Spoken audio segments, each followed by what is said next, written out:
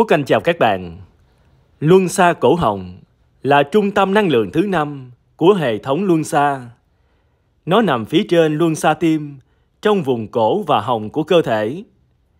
Đây thực chất là trung tâm năng lượng của giao tiếp rõ ràng và có ý thức. Vì giao tiếp là một yếu tố thiết yếu trong nhận thức và tương tác của con người. Luân xa cổ họng mở có thể cải thiện đáng kể trải nghiệm cuộc sống của bạn ở nhiều khía cạnh. Sau đây, Quốc Anh chia sẻ với các bạn những dấu hiệu rõ ràng cho thấy rằng luân xa cổ họng của các bạn hoạt động mạnh và đang mở ra. Điều thứ nhất, bạn thấy dễ dàng thể hiện bản thân mình. Một trong những dấu hiệu quan trọng nhất cho thấy rằng luân xa cổ họng của bạn đang mở là bạn sẽ thấy rằng mình có thể thể hiện bản thân mình một cách dễ dàng hơn. Bạn sẽ trải nghiệm khả năng truyền đạt một cách hùng hồn hơn những gì bạn muốn truyền đạt. Khi một trung tâm năng lượng mở cho phép sự rõ ràng bên trong bạn sẽ tỏa ra một cách tự nhiên vào hào quang và các tương tác của bạn. Việc mở trung tâm năng lượng này sẽ giúp bạn giảm bớt lo lắng khi thể hiện bản thân. Bạn có thể chia sẻ độc đáo con người bạn và quan điểm sống có giá trị của bạn một cách tự tin. Điều thứ hai, bạn thấy dễ dàng nói ra sự thật mà không sợ hãi. Luân xa cổ họng mở ra một cách tự nhiên, giúp khả năng giao tiếp của bạn trở nên tự tin và rõ ràng hơn. Điều này có thể giúp thể hiện việc truyền đạt những sự thật mà bạn đang trải qua trong mọi tình huống. Bất kỳ thói quen nói dối nào sẽ biến mất vì truyền đạt điều gì không phù hợp với năng lượng sống đúng với quan điểm cao nhất sẽ khiến bạn cảm thấy kỳ quặc và sai lầm. Bạn sẽ thấy thật dễ dàng để nói ra sự thật một cách tự tin. Điều thứ ba, khai thác hoặc mở rộng khả năng âm nhạc của bạn. Khi luân xa cổ họng của bạn mở ra, bạn có thể sẽ thấy mình bị cuốn hút hơn vào âm nhạc, cả việc sáng tạo và thưởng thức âm nhạc. Bạn có thể thấy mình bị thôi thúc học một nhạc cụ mới. Nếu bạn đã có năng khiếu âm nhạc bẩm sinh, thì rất có thể trung tâm năng lượng này đã bắt đầu mở ra.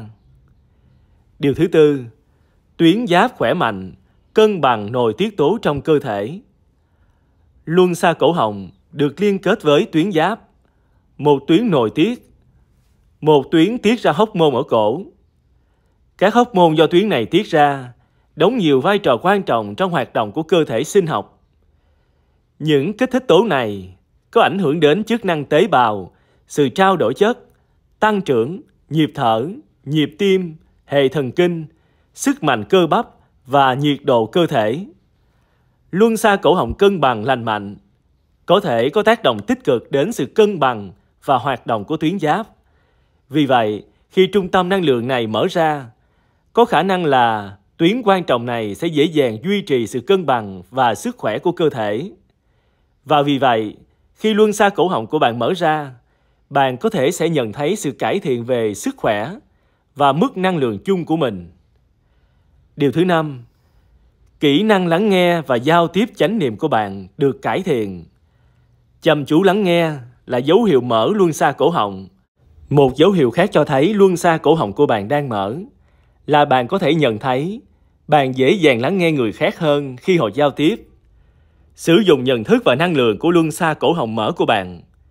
Bạn có thể sẽ lắng nghe người khác và môi trường với sự hiện diện đầy đủ hơn và hiểu đầy đủ trước khi phản hồi. Năng lượng của trung tâm này chào đón dòng giao tiếp rõ ràng và chăm chú lắng nghe như một yếu tố quan trọng của giao tiếp có chánh niệm và hiệu quả. Bằng cách lắng nghe tốt, chúng ta có được tất cả thông tin và sau đó sẽ có thể giao tiếp một cách tự nhiên theo cách mà người khác có thể hiểu được. Bằng cách lắng nghe tốt, bạn cũng sẽ đạt được lợi ích của việc tiếp nhận đầy đủ kiến thức và hiểu biết sâu sắc mà mỗi chúng sinh bạn gặp phải cung cấp cho bạn. Điều thứ sáu, lời nói của bạn phù hợp. Khi trung tâm năng lượng này mở ra và tràn đầy năng lượng, bạn sẽ thấy rằng những lời bạn nói phù hợp với quan điểm về bản thân cao hơn của bạn. Giao tiếp của bạn sẽ truyền tải một cách tự nhiên những gì thế giới nội tâm của bạn muốn thể hiện và giao tiếp của bạn sẽ mang lại cảm giác về sức mạnh, sự thật và giá trị. Khi bạn hoàn toàn có ý nghĩa với những gì bạn nói, lời nói của bạn mang đầy sức sống và từ tính. giao tiếp sẽ cảm thấy dễ dàng và thú vị hơn. Khi giao tiếp của bạn phù hợp, bạn cũng sẽ thấy dễ dàng hơn trong việc khai thác sức mạnh, quy luật hấp dẫn bằng ngôn ngữ. Điều thứ bảy, bạn hiểu và trải nghiệm sức mạnh, tràn đầy năng lượng của ngôn ngữ. Ngôn ngữ có đóng góp năng lượng to lớn vào cách chúng ta trải nghiệm và tạo ra thực tại của mình.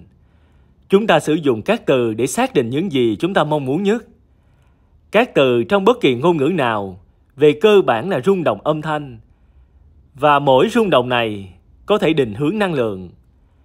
Các rung động âm thanh được tạo ra bởi vì sử dụng từ ngữ có chủ ý, có thể được sử dụng để giao tiếp với ý thức và tiềm thức của chúng ta, cũng như tất cả các năng lượng xung quanh mà chúng ta được kết nối. Đây là lý do tại sao các thực hành như sử dụng những câu thần chú và những lời khẳng định tích cực lại vô cùng hiệu quả trong việc biểu hiện những điều chúng ta mong muốn trở thành sự thật. Một dấu hiệu của luân xa cổ họng mở là nhận thức bẩm sinh và liên tục hơn về năng lượng của những từ bạn nói. Các câu chuyện và cuộc trò chuyện được thể hiện cả bên trong và bên ngoài, có sức mạnh định hình cuộc sống của bạn và tạo ra mọi thứ bạn muốn trải nghiệm. Điều thứ 8. Cầu nối giữa trái tim và khối óc. Cảm giác trái tim và tâm trí của bạn đồng bộ là dấu hiệu cho thấy luân xa cổ họng của bạn đang mở. Vị trí của luân xa cổ họng nằm giữa luân xa tim và luân xa con mắt thứ ba và luân xa đỉnh đầu.